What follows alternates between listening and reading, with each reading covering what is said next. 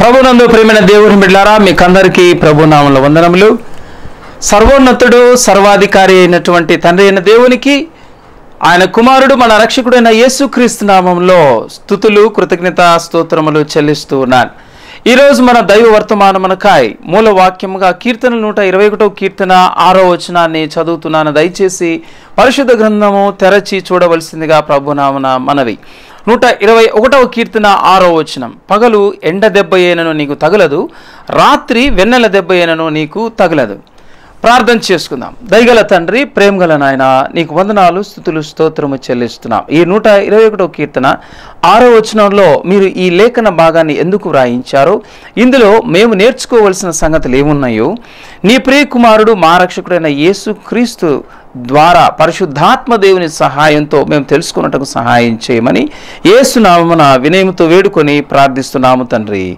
ఆమె ప్రేమైన దేవుని బిడ్లారా ఈరోజు మనం గమనించినట్లయితే ఎండాకాలం వచ్చేసింది. ఎండ చాలా తీవ్రంగా ఉన్నది. ఈ యొక్క వేసవి కాలంలో మనం బయట ఎక్కువసేపు తిరగలేనటువంటి కాలం ఇది. ఎక్కువ సమయం మనం బయట ఎండలో తిరిగినట్లయితే వడదెబ్బ తగిలేటువంటి ప్రమాదం ఉంది. అనారోగ్య సమస్యలు తలెత్తేటువంటి అవకాశాలు ఎక్కువగా ఉన్నట్లుగా ఉన్నాయి. ప్రేమైన దేవుని బిడ్డలారా చాలా జాగ్రత్తగా మనము ఉండవలసినటువంటి సీజన్ ఇది. మన ఆరోగ్యాన్ని మనము జాగ్రత్తగా కాపాడుకోవలసినటువంటి సీజన్ ఇది. సూర్యుని కిరణాల నుంచి వెలువడేటువంటి విటమిన్ డి అనేది మానవుని శరీరానికి ఎంతో ఉపయోగకరమైనది అవసరమైనది. ఎముకలు మరి ఎదుగుదలలోను అలాగే రోగ నిరోధక శక్తి బలం చేకూర్చడంతోనూ అలాగే మరి మనలో ఉన్నటువంటి ఈ యొక్క రక్త కణాల రూపకల్పన విషయంలో విటమిన్ డి అనేది చాలా సహాయపడుతుంది. అయితే ఎప్పుడైతే ఈ యొక్క యూవి రేడియేషన్ అనేది ఎక్కువ అవుతుందో ఈ సమ్మర్ సీజన్లో వేసవి కాలంలో ఈ నీలరోహిత కిరణాలు అంటారు వీటిని అల్ట్రా వైలెట్ రేస్ను. ఈ నీలలోహిత కిరణాల యొక్క ప్రభావం రేడియేషన్ ఎక్కువ ఎక్కువ అయ్యేటువంటి కాలమే ఈ వేసవి కాలం. ఈ వేసవి కాలంలో ఈ యూవి రేడియేషన్ ఎక్కువ అయినప్పుడు మనకు కంటి ప్రాబ్లమ్స్ వస్తాయి. అలాగే మరి చర్మ వ్యాధులు వస్తాయి అలాగే రోగ నిరోధక శక్తి తగ్గిపోతుంది బలహీనమైపోవడం అనేది జరుగుతుంది ప్రేమైన దేవుని బిడ్లారా. మరి కంటి క్యాన్సర్ చర్మ క్యాన్సర్స్ వచ్చేటువంటి ఆస్కారం ఉంది. చాలా జాగ్రత్తలు మనం తీసుకోవాల్సినటువంటి వారమై ఉన్నాం. దేవుడు తన వాగ్దానం ఇస్తున్నాడు ఏమనంటే పగలు ఎండ దెబ్బ అయినను నీకు తగలదు అని దేవుడు వాగ్దానము చేస్తూ ఉన్నాడు మరి మనము తీసుకోవాల్సినటువంటి జాగ్రత్తలు కూడా కొన్ని ఉన్నాయి. ఏంటివంటే మరి ఉదయం ఈ ఎండ తీవ్రత పెరగకముందే మనకు ఏవైనా పనులు ఉన్నట్లయితే ముగించేసుకొని ఇంటిలోనికి రావటం అలాగే నీడ చాటున మనం ఉండటం అనేది చెయ్యాలి. అలాగే ఒకవేళ పనులు ఉన్నట్లయితే ఏవైనా సాయంత్రం ఐదు గంటల తర్వాత మనం బయటికి వెళ్ళి అప్పుడు మరి సన్సెట్ అయిపోతుంది కనుక కొద్దిగా చల్లబడుతుంది కనుక ఆ సమయంలో మన పనులు చేసుకోవడానికి మనం బయటికి వెళ్తే మంచిది.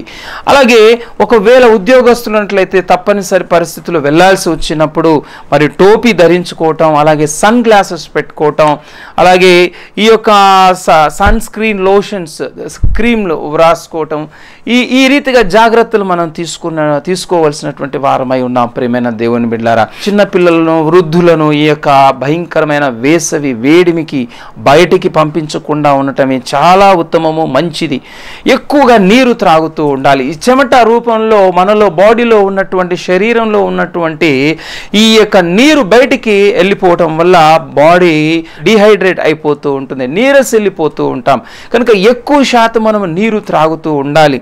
అలాగే కొబ్బరి నీళ్ళు త్రాగాలి అలాగే చెరుకు రసాలు ఇవన్నీ కూడా శరీరంలో చల్లబడడానికి శరీరం చల్లగా ఉండడానికి మరి అవకాశం ఉంటుంది. ఇవి త్రాగటం ద్వారా పండ్ల రసాలు తీసుకోవాలి. చల్లదనాన్ని ఇచ్చేటువంటి పుచ్చకాయలు మజ్జిగ ఇవన్నీ కూడా మనం సేవిస్తూ నిమ్మకాయ రసం కీరా దోసకాయలు వీటన్నిటిని మనం తీసుకోవటం ద్వారా ఈ ఎండ ప్రతాపం నుంచి మనం తప్పించుకొని ఆరోగ్యంగా మనము ఈ వేసవి కాలం అంతా మనము ఉండొచ్చు ప్రేమైనటువంటి దేవుని బిడ్లారా మరి ఈ దేవుడు మాట్లాడినటువంటి ఈ మాటలు ఇక్కడ రెండు మనకు కనబడుతున్నాయి రెండు దెబ్బలు కనబడుతున్నాయి. ఏంటంటే ఎండ దెబ్బ రెండవది వెన్నెల దెబ్బ. మొట్టమొదటిగా ఎండ దెబ్బ గురించి మనం తెలుసుకుందాం. తర్వాత వెన్నెల దెబ్బ అంటే ఏమిటి? దాని విషయాలన్నీ కూడా మనం తెలుసుకుందాం. ఇప్పుడు మనము ఎండ దెబ్బ ద్వారా కలిగేటువంటి ప్రమాదాలు తెలుసుకున్నాం తీసుకోవాల్సిన జాగ్రత్తలు తెలుసుకున్నాం. మరి ఇంతటితో ఈ వాక్యం అయిపోయిందా? అంటే లేదు. దేవుడు ఏ విషయాన్నైనా మాట్లాడేటప్పుడు ఆయన పరలోక సంబంధమైన విషయాలు ఆయనకు సంబంధించినటువంటి విషయాలు ఆత్మ సంబంధమైనటువంటి విషయాలు మనకు తెలియచెప్పేటప్పుడు భౌతిక సంబంధమైన విషయాలు ఆధారం చేసుకుంటూ మనకు బోధ చేస్తాడనమాట అలా చెప్పినప్పుడు మనకు అవి బాగా అర్థమవుతాయి. అలా మనం చాలా చక్కగా అర్థం చేసుకోగలిగిన గలుగుతాం గ్రహించగలుగుతాం కాబట్టి ఈ లోకంలో మనకు అర్థమయ్యే విషయాలు మనం చూస్తూ మనం అనుభవిస్తున్నటువంటి కంటికి కనబడే భౌతిక సంబంధమైన విషయాలను ఆధారం చేసుకుంటూ దేవుడు మాట్లాడతాడు. అలాగే ఈ వాక్య భాగంలో కూడా నూట ఇరవై ఒకటవ కీర్తన ఆరో వచనంలో దేవుడు మాట్లాడుతున్న ఈ ఎండ దెబ్బ కూడా మనం ఆత్మ సంబంధంగా దీన్ని మనం ఆలోచన చేయాలి ప్రేమైనటువంటి దేవుని బిడ్డలరా. ఆయన ఒక చోట అంటాడు ఈ లోకంలో శరీరధారి ఉన్నప్పుడు యేసుక్రీస్తునాథుడు ఆ శరీరం కేవలం నిష్ప్రయోజనమైనది ఆత్మయే జీవింప చేయుచున్నది అన్నాడు. అలాగే నా మాటలని ఆత్మయు జీవమునై ఉన్నవి అని కూడా ఆయనే చెప్పాడు. కనుక దేవుడు పలికినటువంటి మాటలను మనం ఆత్మ సంబంధంగా కూడా కూడా మనం ధ్యానం చేసి మన ఆత్మీయ జీవితానికి ఉపయోగకరమైనటువంటి జ్ఞానాన్ని మనం పొందుకోవలసినటువంటి వారమై ఉన్నాం. ఇప్పుడు ఈ వాక్య భాగంలో ఉన్నటువంటి ఎండ దెబ్బ దేనికి సూచనో మనం చూద్దాం. ఎండ దెబ్బ అంటే ఏమిటి? మనం దాని గురించి తెలుసుకుందాం ప్రేమైన దేవుని బిడ్డారా సూర్యుడి నుంచి ఈ యొక్క ఎండ అనేది వెలువడుతుంది. సూర్యుడు బైబిల్ గ్రంథంలో దేవుడికి పోల్చబడింది. నీతి సూర్యుడు అని యేసుక్రీస్తునాథుడికి పోల్చబడి చెప్పబడ్డం మనం చూస్తాం. అయితే దేవుడే అంటున్నాడు ఎండ దెబ్బ నుంచి నేను తగలనివ్వకుండా ఎండ దెబ్బ మిమ్మల్ని కాపాడుతాను అంటున్నాడు? అంటే అర్థం ఏంటి? ఇక్కడ ఉన్నటువంటి ఈ వాక్య భాగంలో ఉన్నటువంటి ఎండ ఎండ దెబ్బ మనము దేవునితో పోల్చకూడదు అని మనకు అర్థమవుతుంది. ఎందుకంటే దేవుడే దేవుడి నుంచి వచ్చేటువంటి ఆ ఎండ దెబ్బ నుంచి దేవుడే కాపాడడం అనేది మరి హాస్యాస్పదం కదా? అలా వ్యాఖ్యానించకూడదు. కాబట్టి ఇక్కడ వచ్చేటువంటి ఎండ ఈ ఎండ దెబ్బ దేనికి సాదృశ్యమై ఉన్నదో మనం చూద్దాం. ఆ యేసునాథుడు ఈ లోకంలో ఉన్నప్పుడు విత్తనమును గుర్చినట్టు ఉపమానం చెప్పేటప్పుడు రాతి నేలను కొన్ని విత్తనాలు పడ్డాయి.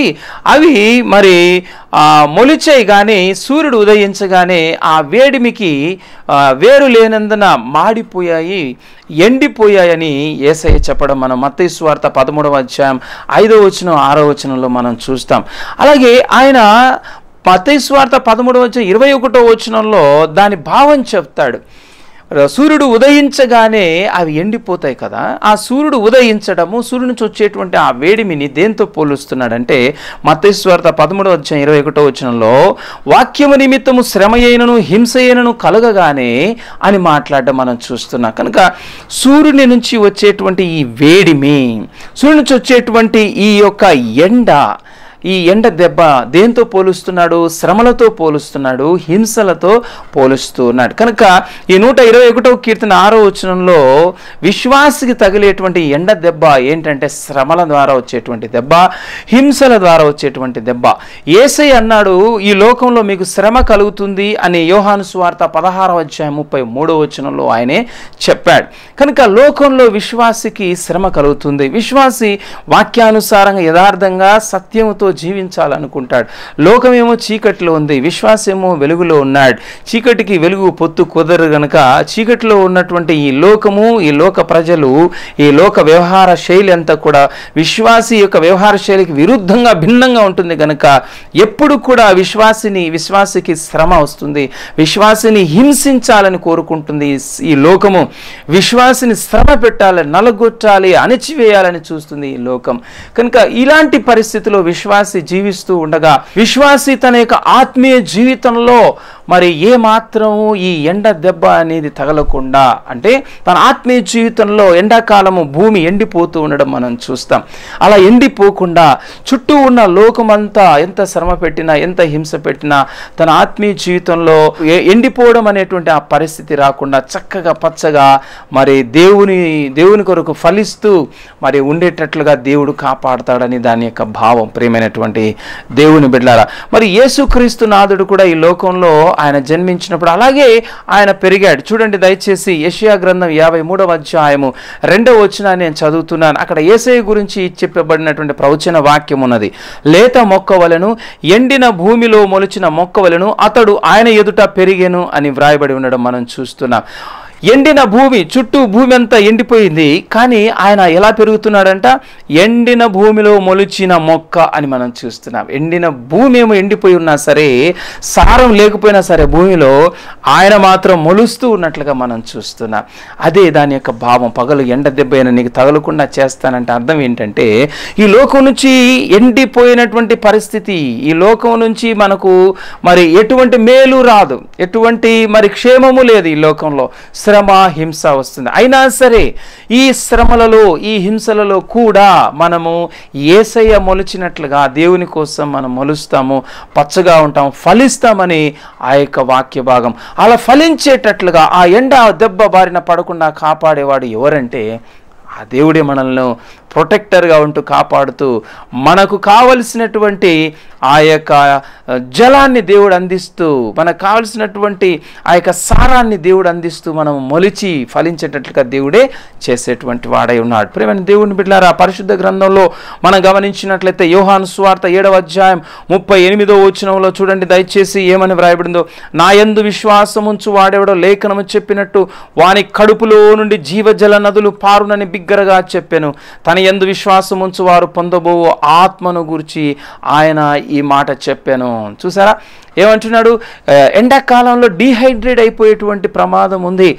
బాడీలో ఉన్నటువంటి నీరంతా కూడా వెళ్ళిపోయేటువంటి ప్రమాదం ఉంది. నీరు లేనటువంటి ఎండిపోయినటువంటి పరిస్థితి దాపురించేటువంటి అవకాశం ఉంది. అయినా సరే దేవుడు అంటూ ఉన్నాడు ఎవరైతే నా ఎందు విశ్వాసం ఉంచుతారో వారిలో ఏమంటున్నాడు? వారి కడుపులో నుండి జీవ జల నదులు పారును అని చెబుతూ ఉన్నాడు. ఇది ఆత్మ సంబంధంగా మనము దీన్ని అన్వయించుకోవాలి. ప్రేమైన దేవుడిని బిడ్లారా మరి ఆ క్రైస్తవుని జీవితంలో లోకంలో జీవిస్తూ బ్రతుకుతున్నటువంటి క్రైస్తవునికి ఎండాకాలం వస్తుంది. మరి క్రైస్తవునికి కూడా ఆల్ సీజన్స్ అనేటివి వస్తాయి. ఆత్మ సంబంధంగా మనం దాన్ని అర్థం చేసుకోవాలి. ఈ ఆల్ సీజన్స్లో వేసవి కాలంలో కూడా అతనికి ఈ ఎండ దెబ్బ అనేది తగలకుండా దేవుడు కాపాడుతాడు. అంటే ఈ శ్రమల కాలంలో హింసల కా హింసలు ఉన్నటువంటి కాలంలో ఈ లోకం నుంచి వచ్చేటువంటి ఈ పోరాటంలో తన ఆత్మీయ జీవితంలో వాక్యానుసారంగా జీవించడానికి ప్రయత్నిస్తున్నప్పుడు ఈ లోకస్తుల ద్వారా వచ్చేటువంటి వ్యతిరేకతతో వ్యతిరేకత అనే పోరాటంలో అతను ఏమాత్రం ఎండ దెబ్బ తగలకుండా ఎండిపోకుండా దేవుడు కాపాడేటువంటి వాడై ఉన్నాడు. దేవుడు పరిశుద్ధాత్మ దేవుని ఎవరైతే యేసునందు విశ్వాసం ఉంచారో వారి లోపలికి పరిశుద్ధాత్మ దేవుడు వెళ్ళాడు. వారి లోపలున్నాడు ఆయన నివసిస్తూ ఉన్నాడు. ఆయన ఏం చేస్తాడంటే జీవ జల నదులను పారచేస్తాడు ఆత్మకు కావలసినటువంటి ఆ నదులు ఆత్మ ఎండిపోకుండా ఆత్మీయ జీవితంలో మనం ఎండిపోకుండా ఉండేలా పరిశుద్ధాత్మ దేవుడే జీవజలమై మనకు మరి ఆయన జలాన్ని అందిస్తూ ఎండిపోకుండా కాపాడేటువంటి వాడై ఉన్నాడు. ప్రేమ దేవుని బిడ్డారా వేసవి కాలంలో మనము జాగ్రత్తలు ఏ రీతిగా తీసుకుంటామో అదే రీతిగా ఆత్మీయ జీవితంలో లోకంలో నుంచి వచ్చేటువంటి శ్రమలు అనే వేసవి కాలంలో ఈ హింసలు అనేటువంటి వేసవి కాలంలో ఈ వ్యతిరేకత అనేటువంటి ఈ వేసవి కాలంలో మనం తీసుకోవాల్సిన జాగ్రత్తలు కొన్ని ఉన్నాయి. ఆ జాగ్రత్తలు రెండు జాగ్రత్తలు నేను చెప్తాను. మొట్టమొదటిది ఏసయ్య ఎలా పెరిగాడంట? చుట్టూ ఎండిన భూమున్న ఆయన మొలిచినట్లుగా మనం చూస్తున్నాం. అయితే ఆ వాక్య భాగంలో మరొక మాట వ్రాయబడి ఉంది. ఎండిన భూమిలో మొలిచిన మొక్కవలను అతడు ఆయన ఎదుట పెరిగెను అన్న మాట మనం చూస్తున్నాం. సో వేసవి కాలం వచ్చినప్పుడు మనం తీసుకోవాల్సిన జాగ్రత్త ఏంటంటే దేవుని ఎదుటికి మనం రావడం అనేది మనం మర్చిపోకూడదు దాన్ని నిర్లక్ష్యం చేయకూడదు. దేవుని ఎదుటికి రావడం అంటే అర్థం ఏంటంటే యాకోబు పత్రికలో యాకోబు భక్తుడు రాసిన పత్రిక ఐదవ అధ్యాయం పదమూడవ వచనంలో ఏమని వ్రాయబడి ఉందో చూడండి. మీలో ఎవరికైనాను శ్రమ సంభవించినా అతడు ప్రార్థన చేయవలెను. ఈ జాగ్రత్త మనం తీసుకోవాలి. ఎండాకాలం వచ్చినప్పుడు మనం జాగ్రత్తలు తీసుకుంటాం కదా. సన్ గ్లాసెస్ వేసుకుంటాము టోపీ పెట్టుకుంటాము అలాగే గొడుగు ఉపయోగిస్తాము. ఇంకా చాలా జాగ్రత్త నీరు ఎక్కువ తీసుకుంటూ ఉంటాము. కనుక ఇక్కడ కూడా అతడు ఆయన ఎదుట పెరిగిన అన్నట్లుగా ఏసయ్య దే తండ్రి అయిన దేవుని ఎదుట పెరిగాడు కాబట్టే తండ్రి అయిన దేవుని ఎదుట ఎల్లప్పుడూ ఉన్నాడు కాబట్టి ఆయన వేసవి కాలంలో కూడా ఎదగగలిగాడు ఫలించగలిగాడు దేవుని కోసం బ్రతకగలిగాడు. అటు రీతిగా మనం ప్రార్థన జీవితాన్ని నిర్లక్ష్యం చేయకుండా శ్రమల కాలంలో ప్రార్థనలో దేవుని ఎదుట మనం ఉన్నప్పుడు దేవుని నుంచి మనకు కావలసినటువంటి ఎండిపోకుండా ఈ యొక్క పగలు ఎండ దెబ్బ తగలకుండా రావాల్సినటువంటి ప్రొటెక్షన్ అనేది మనకు మన ఆత్మకు దేవుడు దయచేసేటువంటి వాడై ఉన్నాడు. ప్రేమైన దేవుని బిడ్లారా మరి ఇప్పుడు మనము ఈ ఎండ దెబ్బ గురించి మనం తెలుసుకున్నాము. వెన్నెల దెబ్బ గురించి మనం ఇప్పుడు ధ్యానం చేసి తెలుసుకుందాం ప్రేమైన దేవుని బిడ్డారా చూడండి అన్నాడు కదా నూట ఇరవై ఒకటో కీర్తన ఆరో వచనంలో రాత్రి వెన్నెల దెబ్బ అయినను నీకు తగలదు అన్నాడు. మనం ఈ లోకంలో యాత్రికులం అండి పేతురు పత్రిక రాస్తూ అంటాడు యాత్రికులము మనము అంటాడు. యాత్రికుడు ప్రయాణం మనం సాగిస్తున్నాం పరలోకానికి సాగిస్తున్నాం. ఈ ప్రయాణంలో మరి పగలుంటుంది రాత్రి ఉంటుంది మరి ఎండ ఉంటుంది మరి వెన్నెల ఉంటుంది. అయితే దేవుడు అంటున్నాడు అది ఏ సీజన్ అయినా అది ఏ టైం అయినా సరే దేని ద్వారా నీ యాత్రకు భంగం కలగకుండా నీకు దెబ్బ తగలకుండా నేను కాపాడుతానని చెబుతున్నాడు. చూడండి ఎంత చక్కని మా వాగ్దానం దేవుడు చేస్తున్నాడు. రాత్రి వెన్నెల దెబ్బ ఏను నీకు తగలదు. దీన్ని ఏ రీతిగా మనం ఆత్మ సంబంధంగా అర్థం చేసుకోవాలి? మొట్టమొదటిగా దీన్ని ప్రకృతి సంబంధంగా మనం అర్థం చేసుకుందాం. వెన్నెల దెబ్బ అంటే ఎలా ఉంటుందంటే ప్రేమ దేవుని బిడ్డలరా ఈ సముద్ర కెరటాలు చంద్రకాంతి తీవ్రంగా ఉన్నప్పుడు అంటే పౌర్ణమి రోజులో చంద్రకాంతి తీవ్రంగా ఉంటుంది. ఆ దినాల్లో మన సముద్రం దగ్గరికి వెళ్ళి చూస్తే కెరటాలు ఉవ్వెత్తున లేచి లేవడం మనం చూస్తాం. చంద్రుని అందుకోవాలి అన్న రీతిలో అవి పైకి ఎగిసిపడడం అనేది మనం చూస్తాం. కారణం ఏంటంటే సముద్రం యొక్క అగాధములో ఉన్న మట్టి చంద్రుని ఉపరితలంలో మట్టి ఒకటి. ఒకటే కాబట్టి ఒకదానికి ఒకటి ఆకర్షించుకుంటూ ఉండడం మనం చూస్తాం. అలాగే ప్రిమేన్ దేవుని బిడ్డారా ఈ పౌర్ణమి రోజుల్లో మూర్ఛ వ్యాధి కలిగినటువంటి వారు మెదడుకు సంబంధించినటువంటి ప్రాబ్లమ్స్ వ్యాధులు కలిగినటువంటి వారు నరాల వ్యాధి కలిగినటువంటి వారికి కూడా మరి ఆ పౌర్ణమి రోజుల్లో వారు మా సాధారణంగా ఆరోగ్యంగా ఉన్నటువంటి వారికి భిన్నంగా వారు ప్రవర్తించడం మనం చూస్తాం. ఆ చంద్రుని యొక్క కాంతి ప్రభావం వారి మీద కూడా ఉండడం మనం చూస్తాం. ప్రేమైన దేవుని బిడ్లారా మరి కొందరు పండితులు అన్నారు ఏమనంటే దేవుడు ఈ మెదడును తయారు చేసేటప్పుడు ఉపయోగించినటువంటి ఆ మట్టి చంద్రుని ఉపరితలంలో ఉన్న మట్టి ఒకటే కాబట్టి మరి దాని యొక్క ప్రభావము మనిషి మీద కూడా పడుతూ ఉన్నది అని చెప్పారు. ఇది ఈ యొక్క భౌతిక సంబంధమైనటువంటి శరీర సంబంధమైనటువంటి చంద్రుని కాంతి నుంచి వచ్చే వెన్నెల దెబ్బ ద్వారా కలిగేటువంటి ఈ అనారోగ్య సమస్యలు కూడా రాకుండా కాపాడుతానని నూట ఇరవై ఒకటో కీర్తన ఆరో వచనంలో దేవుడు మాట్లాడడం మనం చూస్తున్నాం. ప్రేమైన దేవుని బిడ్డలారా ఇది శరీర సంబంధమైనటువంటి విషయం. ఈ వాక్యంలో వెన్నెల దెబ్బ ఆత్మ సంబంధంగా కూడా మనం అన్వయించుకొని దాన్ని అర్థం చేసుకుంటే అప్పుడు మనకు అది క్షేమాభివృద్ధి. ప్రేమ దేవుని బిడ్డారా యేసుక్రీస్తునాథుడు ఈ లోకంలో ఉన్నప్పుడు చాంద్ర రోగులు కూడా ఆయన దగ్గరకు వచ్చినట్లుగా మనం చూస్తాం. మత స్వార్థ నాలుగో వచ్చిన ఇరవై నాలుగో వచ్చినంలో సకల వ్యాధులు ఆయన దగ్గరకు వచ్చారు రోగులు ఆయన దగ్గరకు వచ్చారు అందరికీ స్వస్థతని ఇచ్చారు. అలాగే చాంద్ర రోగులు కూడా వచ్చారు. ఈ చాంద్ర రోగం గురించి గ్రీక్ బైబిల్లో ఏమని వ్రాయబడిందంటే సెలేనియా జోమై అని వ్రాయబడింది అంటే దాన్ని లిటరల్గా దాని మీనింగ్ ఏంటంటే ఈ చాంద్ర రోగి అంటే ఎవరంటే ఎవరైతే చంద్రుని యొక్క ప్రభావమునకు గురి అయినటువంటి వారు ఉన్నారు వారు అని అర్థం. చంద్రుని ప్రభావమునకు గురి అయినటువంటి వారు అనే దాని యొక్క భావం ప్రియమైన దేవుని బిడ్డలారా. ఇప్పుడు చంద్రుడు అంటే ఆత్మ సంబంధంగా దీన్ని ఈ చంద్రుడిని మనం దేంతో పోలుస్తాము దేంతో పోల్చాలి చూద్దాం. పరిశుద్ధ లేఖనాల్లో మనం గమనించినట్లయితే చంద్రుడు దేనికి సూచన అనేది మనం చూద్దాం. కీర్తన కీర్తనలు నూట ముప్పై ఆరో కీర్తన ఎనిమిదో వచ్చిన తొమ్మిదో వచనాన్ని నేను చదువుతున్నాను.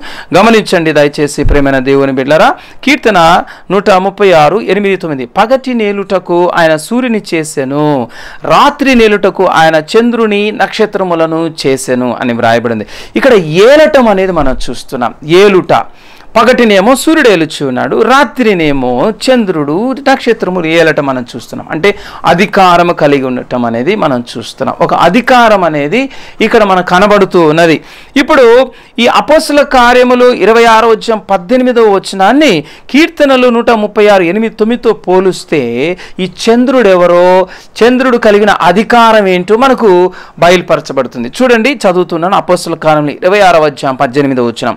వారు చీకటిలో నుండి వెలుగులోనికిని సాతాను అధికారము నుండి దేవుని వైపునకును తిరిగి అని వ్రాయబడింది. చీకటిలో నుండి వెలుగులోనికి వచ్చారు వారు అంటే సాతాను అధికారములో నుండి వచ్చారు దేవుని అధికారంలోనికి అంటున్నాడు. రెండు అధికారాలు మనకు కనబడుతున్నాయి కదా. కీర్తనామ నూట ముప్పై ఆరు ఎనిమిది తొమ్మిదిలో కూడా రెండు అధికారాలు ఉన్నాయి. కదా సూర్యుడు మరి పగటిని ఏలుచు ఉన్నట్టుగా మనం చూస్తున్నాం అలాగే రాత్రిని చంద్రుడు నక్షత్రాలు ఏలడం అనేది మనం చూస్తున్నాం. రెండు అధికారాలు మనం చూస్తున్నాం. ఇక్కడ కూడా అపస్సులు ఇరవై ఆరు పద్దెనిమిదిలో సాతాను అధికారం మనం చూస్తున్నాం. దేవుని అధికారం మనం చూస్తున్నాం ప్రేమ దేవుని బిడ్డారా కనుక సాతాను అధికారాన్ని సాతానును చంద్రునితో మనం పోల్చాలి. ఎందుకంటే చీకటిని ఏలుచున్నటువంటి వాడే. మరి దేవుని బిడ్డలందరూ కూడా వెలుగై ఉన్నారు. ఎప్పుడైతే ఏసునందు విశ్వాసం ఉంచుతామో అప్పుడు సాతాన్ అధికారంలో నుంచి మనం దేవుని అధికారంలోనికి వచ్చేస్తున్నాం. సాతాన్ అధికారం చీకటి అధికారం అంధకార సంబంధమైన అధికారంలో నుండి ఆయన మనల్ని విడుదల చేశాడని అపోసిన పౌలు కొలసీలకు ఒక పత్రిక రాస్తూ మాట్లాడతాడు. కనుక సాతాను అధికారమును చీకటి యొక్క అధికారంతో దేవుడు పోల్చాడు పరిశుద్ధ గ్రంథమైనటువంటి బైబిల్లో.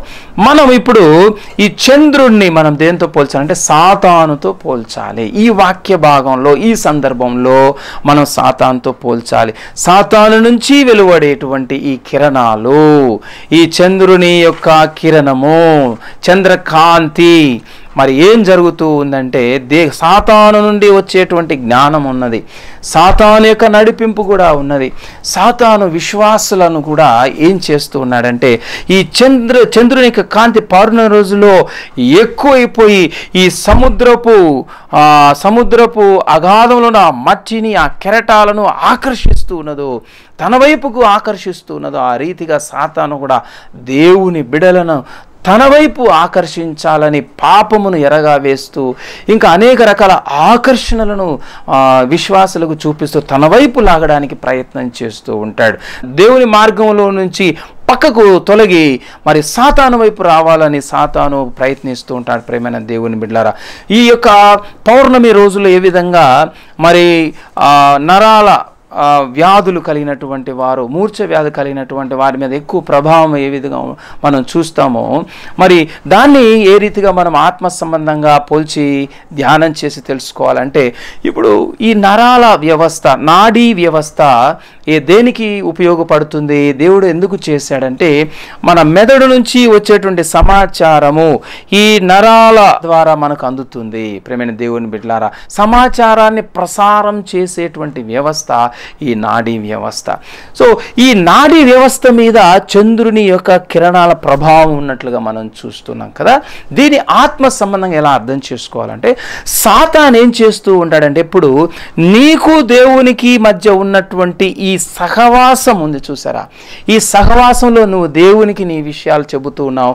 దేవుడు తన విషయాలు నీతో పంచుకుంటున్నాడు. నువ్వు దేవునితో పంచుకుంటున్నావు. ఈ రిలేషన్ అనేది కట్ చేయాలి.